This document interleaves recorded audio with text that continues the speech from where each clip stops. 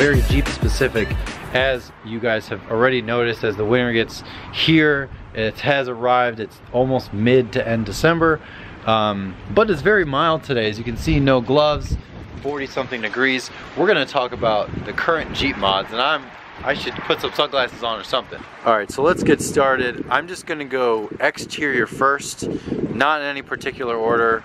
Um, first thing that we're gonna talk about is this Rola roof basket. Um, it's kind of just the standard Rola basket that you would get from online. I got it from Amazon, I believe. Came in a few days. It's fairly heavy, but uh, it definitely makes kind of a kind of a more stock type you know, sitting Jeep. My Jeep doesn't have a ton of mods on it. Uh, but the basket makes it look kind of more rugged, like, you know, like it belongs in Utah or something cool. Like, I don't know. Um, I think it looks good. I took it off when I detailed it and it was interesting, but I definitely prefer it on after having the two different things. Um, anyways, this isn't really a mod per se, but I just recently um, wrapped the trim which used to be chrome gloss black I wrapped it gloss black so look out for that video this trim will be done in satin uh, which will match sort of the uh, the window trim as well um, which honestly stops here. So I wish they would have just done that black too but they didn't. Um, and while we're over here those wheels are the stock chrome Jeep uh, premium limited wheels uh, but I plasti dipped them with the uh, bronze glossifier. So that is why they look bronze. And I know that a lot of you guys are gonna hate them, but I wanted something different for wintertime. And uh, I figured that now's the time to sort of take that risk. And if they get messed up, no big deal. But there's a video on that as well. Next thing, similar situation. This is wrapped gloss black which is uh, dirty. I did uh, blast this at a power washing station today just to get the salt off. Did not do a full wash uh, but it definitely needed the salt blasted off. So that's gloss black instead of chrome. I'd like to do this as well. Um, and then painted the tow hook uh, red just kind of a normal red like Krylon or whatever paint. Uh, really just no big deal. Took them off painted them uh, several coats pretty easy and this isn't a mod, definitely not a mod, but it's a delete of that air dam. I can try to throw up a picture, but normally there's, you know, an air dam that's right under here um, that just kind of flaps in the wind. It's supposed to be for aerodynamics, but this thing gets such a horrible gas mileage anyways. It just looks so much more rugged and has way more ground clearance without it. So that made a huge change in the way that this thing sits. Got Jeep Grand Cherokee for snow and this, which I kind of like, kind of brings your eye, kind of matches the tow hooks as well. Um, it just looks a little more rugged, you know, kind of from this view, the uh, the stance, uh, which I will be getting to in just a second, is you know the uh, the red shackle is kind of cool, um, and this is uh, bleached from the sun, so I need to take care of that. And I have a locking uh, sort of a locking uh, whatever this metal piece is. Here has the tow package, obviously. So, uh, but this has saved me. Um, people, if they try to bump me, they get fucked, not me. And as you can notice, it has a little bit of a stance to it, not really tremendously. Um, it has a one and a half inch spacers on all wheels just because I want them to look a little more rugged. And I should mention, I, I forgot to mention, let's get to the lift and tires. I should have started with that because that's probably what most people care about. But these are obviously Nitto Terra Grappler G2 tires. And uh, they are all-terrain tires, not super uh, loud. They are a little bit louder, I noticed, on the highway. Um, but nothing that's too hard to deal with and they are 265 70 17s and uh, they do not rub. The only time they do rub so i guess they do rub is if i go full turn full tilt on the steering wheel and i'm going backwards which is kind of weird. If i'm going forwards it seems to be okay. If i'm going backwards they it starts to rub uh, and without the spacers, it'll rub on the uh, con front control arms here. So, uh, but that was really the only thing.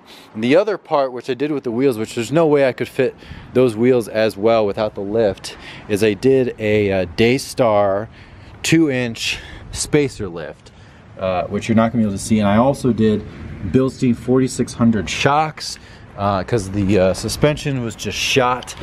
As you can see there, I just love the rear. You can see the yellow shocks there. And yes, that's stock tire, which uh, I would never use, so having it there is kind of pointless. But um, yeah, so that's that. That's the lift. Guys, I really love it. I kind of wish I went four inches instead of two, but this allows me to fit with the basket in every parking garage and uh, it's you know it doesn't kill the handling completely so oh and also I should mention tinting uh, the rear comes factory but I did the front windows 20 and I did the windshield 50 5 0 um, so that is done as well. That helps because this thing sits out 99.9% of the time. It sits outside.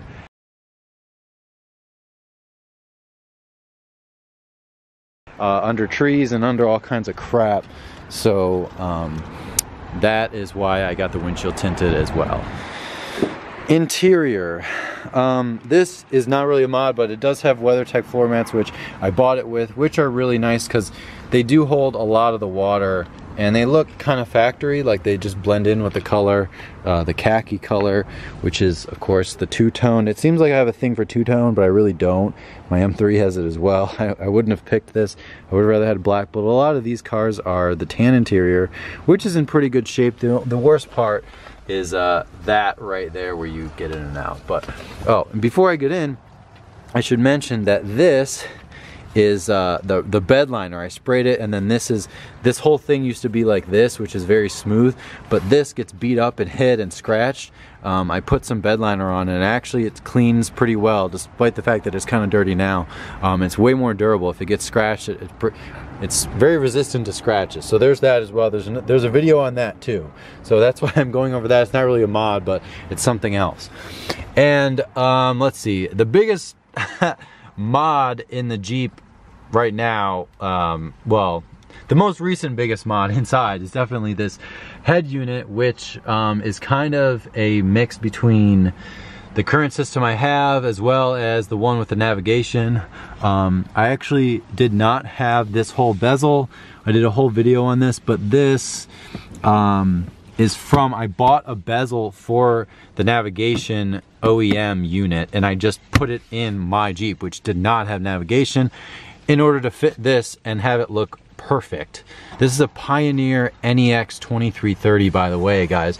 Um, I'm totally turning into a car audiophile uh, just by doing this. It's been a few years but um, let me show you really quick. I just love this thing. It makes it so much nicer.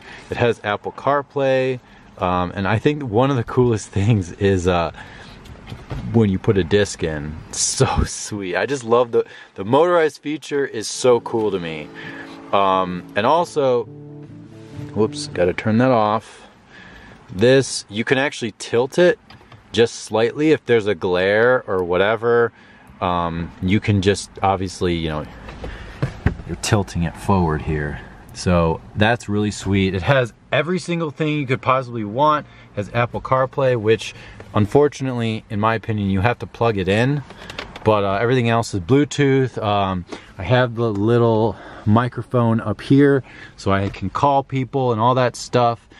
And um, if you're wondering, I have 146,768 miles and uh, pretty good, going pretty strong. There's some creaks and noises and uh, a few things here and there, but overall it's been pretty good. Uh, so let me turn this off. Ugh. And this is the limited package if I didn't mention. I know that's not really a mod or anything, but um, some people get interested in that sort of thing.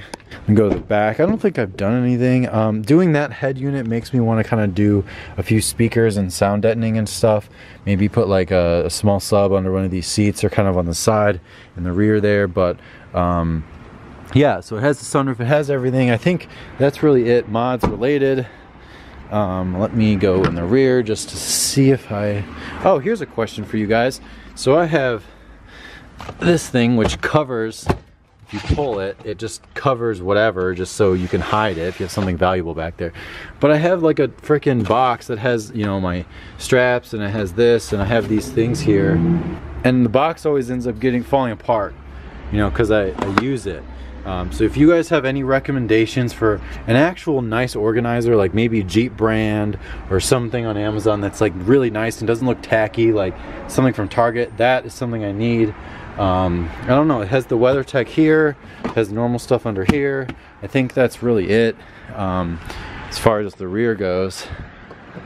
So that's it guys. I hope you Jeep people are satisfied because I've been pushing so many Jeep videos. I'm probably getting people unsubscribing because they think the M3 is the one that gets all the attention, which it normally is, it normally is. But right now I'm just, as I drive what, whichever car I'm driving more, I end up kind of focusing a little more time on mods or whatever it happens to be. So before I started driving that thing, ooh, let's let this camera adjust, okay. Before I started driving the Jeep, in the wintertime, like really, really frequently, um, I wanted to get the system, the uh, head unit in, uh, which makes it way nicer to drive, and it actually rattles all the speakers because now they actually have power to them where before they didn't. So if you're interested in that, I keep talking about it. Um, that was a really big project for me. I will do another video on the head unit. I think I don't really know exactly what the topic is, but I feel like knowing myself, I have a lot to say about it still and I did like a 20 minute video. So I wanna do sort of a follow up, maybe in impressions or criticisms or advice or whatever. It's probably gonna be kind of Jeep specific, but uh, any BMW guys, you know, you can bear with me. That is gonna be it. If you guys are wondering future mods, um, what the heck are my future? I want to black out the chrome definitely the chrome pieces. The, the letters, I don't know if I want a debadge. I kind of like the idea, but it doesn't really bother me on this car very much. Um, ideally would to be getting a sick lift, but I already did that, so I don't want to change. Um, I like either the Euro headlights, which have the projector bulbs, but those are really expensive, or one with a blacked out housing. They sell them online that seem pretty good. Like this part isn't chrome, it's sort of blacked out. It would look so much cleaner.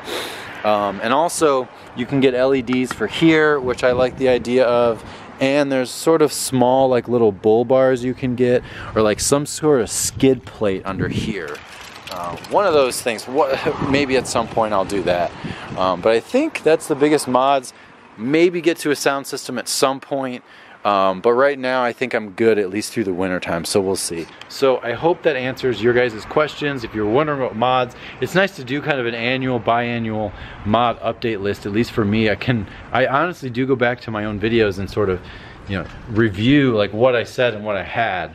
Um, and when I started doing videos, I did a lot of those, you know, like winter update, fall update, all that stuff. So uh, let me know what you guys think. If I missed anything, I don't think I did. I don't really have like a running list like on hand. I have a spreadsheet and stuff.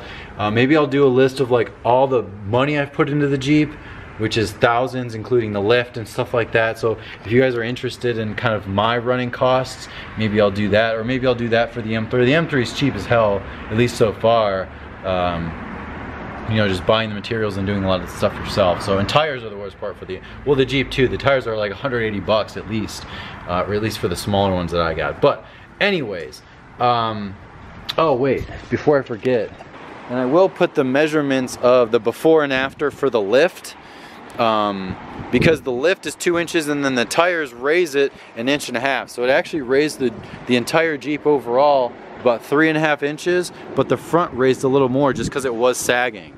So it went from sagging to actually upright. So that's a really big win. Okay, this video is like all over the place. I had fun filming it. It was actually fun. Hopefully you guys can tell because it's nice out, whatever. So, anyways, leave comments below. Thank you for watching. I will put links to every possible thing I can um, and information and I will answer questions if you have them. Please subscribe and I will see you guys next time.